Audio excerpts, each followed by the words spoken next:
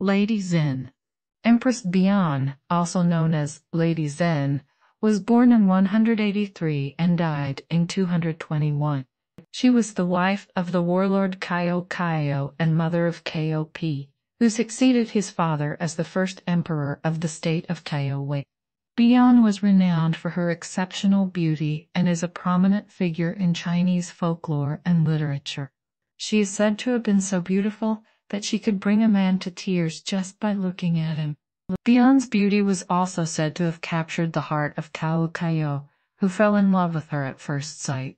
She was highly respected by her husband and her son, and her beauty and wisdom were admired by many, including Cao Cao's enemy, Liu Bei.